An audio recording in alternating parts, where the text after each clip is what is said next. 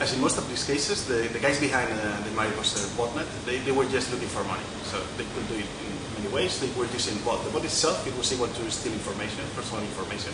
So the username, password, banking credential, credit card, it was able to take that. How they were doing that? Well, the, the bot itself had different modules. One of the modules, for example, was able to take um, all the information you enter in Internet 6, 7, or 8, uh, you enter that, and this module was designed just to steal all that information.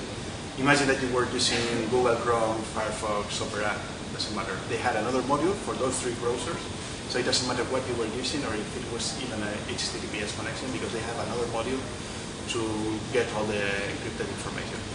So basically that, that's what they were doing, stealing information. They were also renting the botnet. The botnet was really huge. So they were renting just small portions of the botnet. We have seen some communications with some, some other criminals.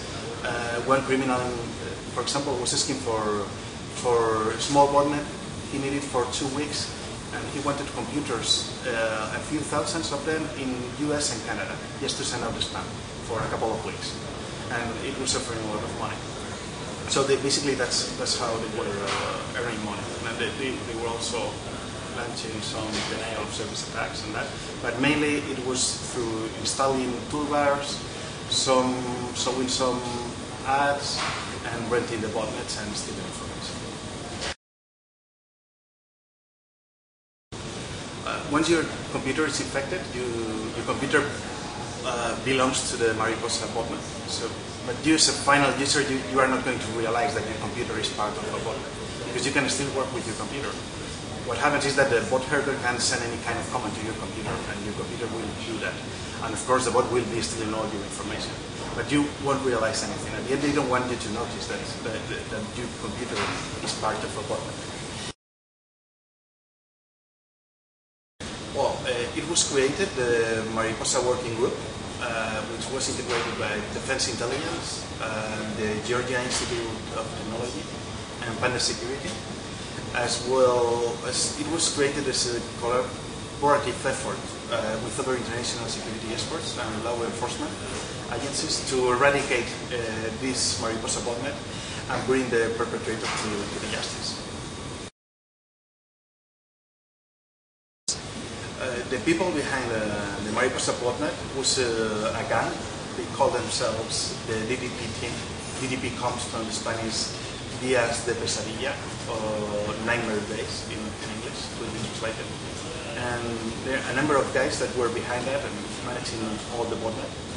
And the investigations are still open, and well, uh, some uh, we have some people, and the police and law enforcement has taken some of them, but uh, we will see more arrests in, in the near future.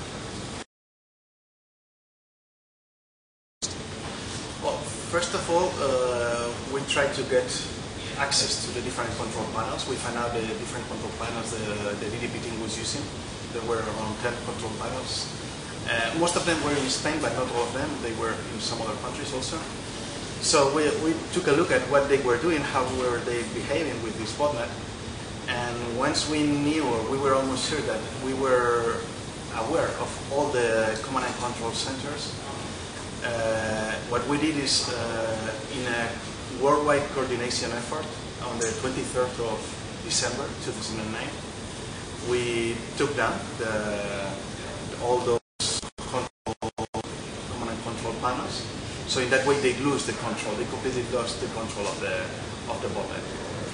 Uh, what happened that day is that uh, Netkairo, which was the leader of the DDP team, uh, Netkairo is an alias he, was using, one of the many aliases he had. Uh, Netkairo tried to again uh, gain control of the of the botnet again, and he was trying to connect to each and any and every of the CNC panels. He couldn't, and he tried, and he, he was getting nervous, and because when he usually when he was connecting to these servers to, to control the botnet, he was using some anonymous VPN services.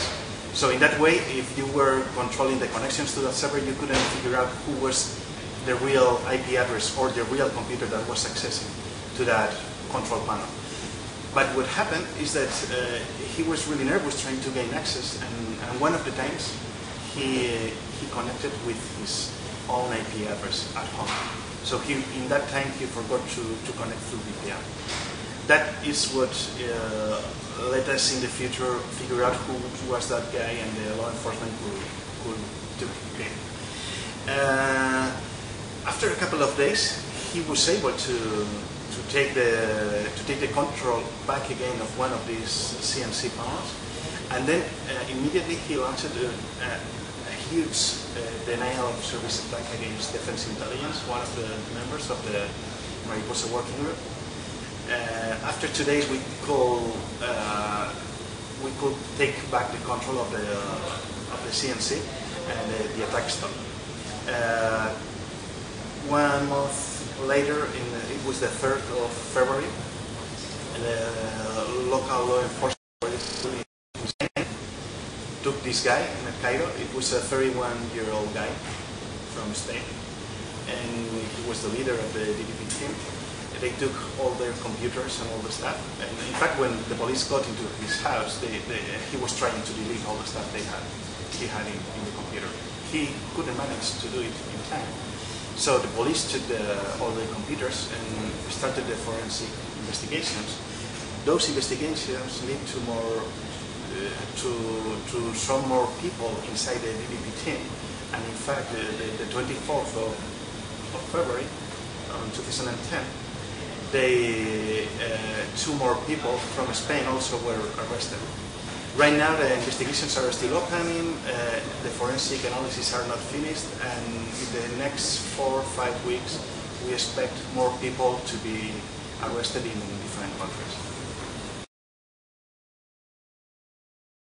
Well, one, one of the first things we, we did is took all the samples we find out about uh, Mariposa, all the bots they, they have been using to infect the users, uh, we took them, all those samples, and sent them to all the antivirus companies. So all, everyone has already added detection for those bots. And if you have any doubt or you think that your computer could have been infected with this, you just have to run a scan with, the, with your antivirus. It has to be updated, that's the only thing. You scan it, and if it finds something, it will tell you, and it will delete the bot. That's it.